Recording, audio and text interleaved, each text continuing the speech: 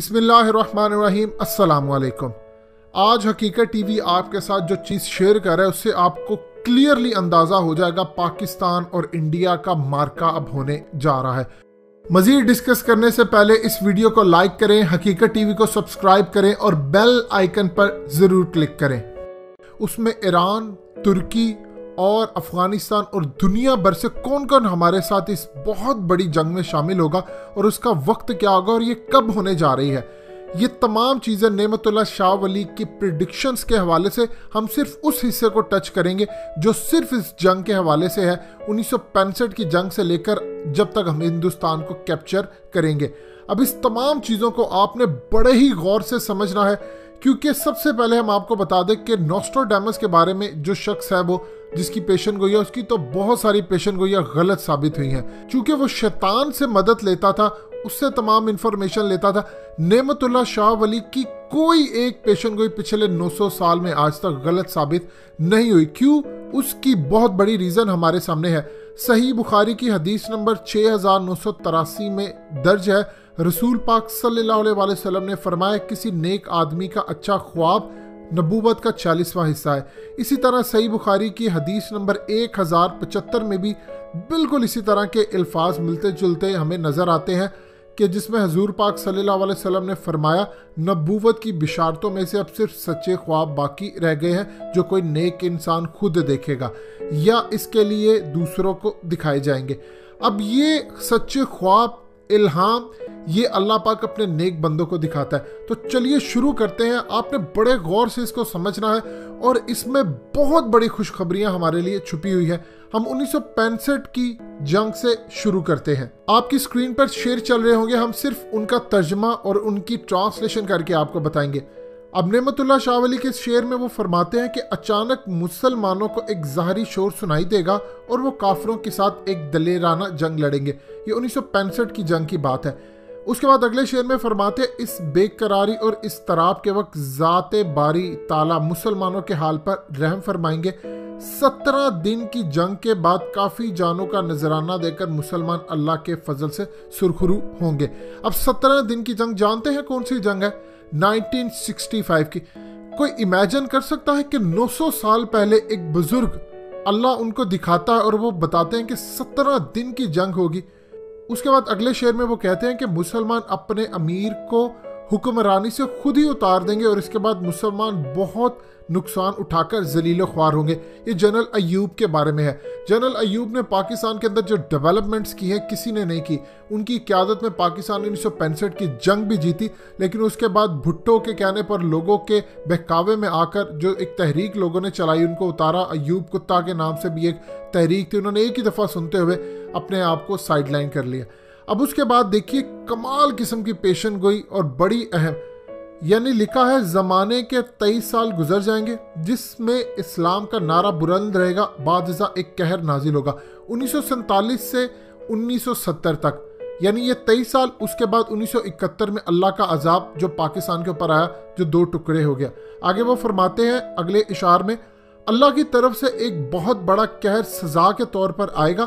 اللہ تعالیٰ ایک قاتلانہ حکم جاری فرمائیں گے۔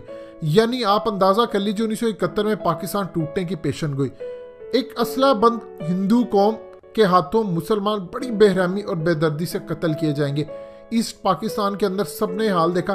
پھر اس کے بعد فرماتے ہیں کہ مشرق یعنی مشرقی پاکستان کے نام سے وہ کھل کر بتا رہے فریب سے تباہ ہو جائے گا۔ یہ فریب کیا تھا؟ یہ جس طرح انہوں نے ٹی ٹی پی پاکستان کے اندر پیدا کی، اسی طرح مکتی باہنی بھی پیدا کی۔ ہماری آج کی نسلوں کو شاید نہ پتا ہو، مکتی باہنی بالکل آج کی ٹی ٹی پی ہے۔ انہوں نے فرنٹ پر حملہ نہیں کیا، لیکن انہوں نے ہمیں فریب سے تباہ کیا اور پھر لکھا، اور مغرب والے، مغربی پاکستان اس ظلم پر بہت روئیں گے۔ آج بھی پھر اس کے بعد حبیب جالی کا بھی شعر ہمارے پاس ہے۔ انہی چلن سے ہم سے جدا بنگال ہوا، پوچھنا اس دل کا پھر کیا حال ہوا۔ پھر اس کے بعد آگے وہ بہت ہی اہم چیز بتاتے ہیں کہ مسلمانوں کا ایک بہت بڑا شہر، ایک بہت بڑا مقتل گاہ بن جائے گا اور گھر گھر کربلا ہوگی۔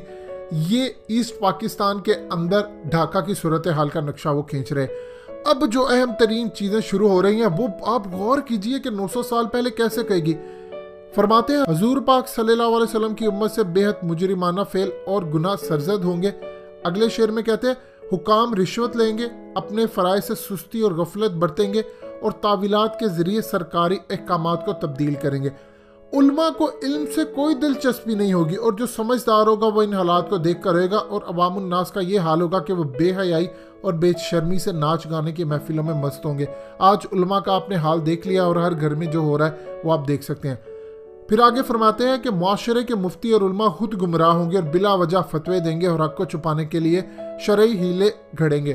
اب آپ دیکھ سکتے ہیں آج کل کے علماء کا کیا حال ہو چکا ہے۔ علماء حق تو تقریباً ناپید ہو چکے ہیں اور جو نام نہاد علماء ہے وہ ہمارے سروں پر چڑھے ہوئے ہیں۔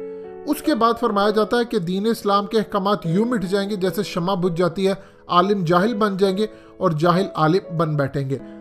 تم یہ دیکھو گے کہ قاضی کی مسنن پر جاہل ترین لوگ برجمان ہوں گے جو عوام سے ہر بہانے سے رشوت طلب کر کے فیصلے کریں گے۔ اگر قاضی کو چند سکے رشوت کے طور پر دو گے تو وہ شکاری کتے کی طرح بہانہ سازی کر کے تمہارا معاملہ طے کر دیں گے۔ ججوں کے رشوت کی بات کی جا رہی ہے۔ اب یہاں سے شروع ہو رہی ہے وہ پریڈکشن جو کہ اصل لڑائی ہونے جا رہی ہے۔ افغان قوم پر اللہ کا فضل ظاہر ہوگا اور وہ ہتھیار لے کر مقابلے کے لیے کھڑے ہو جائیں گے۔ یہ سوویت یونین اور اس کے بعد امریکہ کے ساتھ جو کچھ ہوا ہے۔ چترال، ناگا پربت، گلگت اور چین سے ملکہ علاقہ جات اور تبت میں ایک جنگ لڑی جائے گی۔ اب آپ غور کیجیے تمام علاقوں میں انڈیا کی سازشیں چل رہی ہیں اور وہ اس کو پاکستان کا نقشہ بھی نہیں کہتے۔ اب یہاں پر ہے اصل کہانی۔ اس کے بعد جب ملک ہند میں ایک فتنہ ہوگا تو غازیان اسلام اعلان جہاد کر کر اٹھ کھڑے ہوں گے۔ اب ہندوستان کے اندر کیا ہوگا؟ بغاوت ہوگی خالستان ہوگا، کیا ہوگا؟ یعنی ایک بہت بڑی تحریک اٹھ جائے گی۔ کہا جا رہا ہے، منگول فوجیں شمال سے آئیں گی مدد کے لیے۔ ایران اور ترکی بھی مددگار ہو جائیں گے۔ اس وقت تو ایران انڈیا کے ساتھ ہے، لیکن انشاءاللہ ایران، ترکی تو ساتھ شامل ہوں گے۔ جس طرح پاکستان، ترکی اس ٹائم ابھر رہے ہیں، اس کے علاوہ منگول سے فوجیں شمال سے آئیں گی۔ یعنی منگول سے بھی ہمارے لیے بہت بڑی پیشن گئی ہے۔ یہ غزوہ چھ سال تک ایک شدید جنگ کی صورت میں جاری رہے گا، جس میں ہر جگہ اس جنگ کی وجہ سے لوگوں کا قتل عام ہوگا۔ یہ پاکستان اور انڈیا کی لڑائی چھ سال جاری رہے گی۔ اہل قابل بھی کافروں کے قتل کے لیے نکل آئیں گے اور کافر پوری کوشش کریں گے کسی بہانے سے جہاد کو روکیں۔ اہل کابل یہ افغان طالبان کی بات کر رہے ہیں جنہوں نے امریکہ اور سوویت یونین کو ہرایا۔ ٹی ٹی پی والوں کی نہیں، جن کو پاکستان کی فوج نے جہنم حاصل کیا۔ سرحد کے غازیوں کے قدموں تلے زمین اس طرح لرزے گی جیسے قیامت برپا ہو رہی ہو اور ہر جانب سے جہاد کے مقصد کے لیے والہانہ نکل آئیں گے۔ یعنی پوری دنیا جب پاکستان انڈیا کی جنگ ہوگی تو مسلمان یہاں پر آ جائیں گے لڑنے کے لیے، انشاءاللہ۔ یہ جنگ اب یہاں پر بتایا جا رہا ہے کہ وہ ٹائمنگ کیا ہوگی بڑی عید اور چھوٹی عید کے درمیان ہوگی۔ یعنی اب آپ ایزیلی اندازہ کر سکتے ہیں کہ روزوں کے بعد جو ٹائم آتا ہے اس میں یہ جنگ ہوگی۔ جب بھی کبھی ہو آپ اس کو اندازہ کر سکتے ہیں۔ اس جنگ کے نتیجے میں مسلمان ان تمام علاقوں کو حاصل کر لیں گے جو ان کے ہاتھ سے نکل چکے ہوں گے۔ ایک بار خون بہنا شروع ہو گیا تو دریائے اٹک کا پانی تین بار کافروں کے خون سے سرخ ہوگا۔ یعنی ہم اتنی ان کی لاشیں بچھا دیں گے کہ ہم سے لڑنے کے لیے اندر آئیں گے، لیکن ان کو کاٹ کاٹ کے ہم لوگ اندر پھینکیں گے۔ اس کے بعد مسلمان لاہور پر قبضہ کر لیں گے، کشمیر فتح کر لیں گے اور گنگا اور جمنا کے درمیان کے علاقے اور شہر پر مسلمانوں کا قبضہ ہو جائے گا۔ ترک، عرب، ایرانی اور وسط ایشیا والے مدد کے جذبے سے والہانہ انداز میں آگے بڑھیں گے۔ عثمانی یعنی ترک، چینی اور ایرانی ایک ہو جائیں گے اور پاک فوج کے ساتھ مل کر ہندوستان کو غازیانہ فتح کر لیں گے۔ دین اور ایمان کے تمام بدخواہ دشمن مارے جائیں گے اور تمام ہندوستان ہندو حکومت اور شرک سے پاک ہو جائے گا۔ غربستان کا بادشاہ، غربستان یہ مغرب پاکستان یعنی پاکستان کی بات ہو رہی ہے۔ تلواروں اور ہتھیاروں کے بل پر ہندوستان فتح کرے گا اور کافر قوم کو ایسی شکست ہوگی جو کسی کے وہم و گمان میں بھی نہ ہوگی۔ اے میرے بھائی، میں چالیس سال تک اس بادشاہ کی حکومت کو دیکھتا ہوں یعنی غزوہ ہند کے بعد چالیس سال ہماری حکومت ہوگی اور ہندوستان میں چالیس سال اسلام کا غلبہ رہے گا۔ اس کے بعد ایران کے شہر اسفان سے دجال کا ظہور ہوگا۔ یہ ہے وہ زبردست چیز۔ ابھی جو صورتحال جو بن رہی ہے، پاکستان ابھر ہے، آپ نے پریشان نہیں ہونا۔ اس جنگ میں ہم نے پارٹیسپیٹ کرنا ہے، پیسے سے کریں۔ ہم لڑنے والوں کو پیسہ دے، کھانا دے، خود لڑے، کچھ کریں۔ یہ جنگ میں ہم اگر غازی بن کے لوٹتے ہیں تو بھی فتح، اور اگر ہم شہید ہوتے ہیں تو سیدھا جنت کے اندر۔ اس سے بڑی اپرچونٹی کوئی نہیں ہو سکتی۔ اور یہ آج تک نعمت اللہ شاہ ولی کے پریڈکشن چھپائی گئی ہیں۔ انشاءاللہ یہ جنگ ہوگی، اور ہم تو ڈرنے والے نہیں ہیں، کیونکہ دریائے اٹک نے تین دفعہ ان ہندو مشرکوں کے خون سے رنگنا ہے۔ انشاءاللہ۔ دوستو، حقیقت ٹی وی کو سبسکرائب کرنا مت بھولیے، ویڈیو کو لائک کریں، شیئر کریں اور کمنٹ سیکشن میں اپنی رائے کا اظہار ضرور کریں۔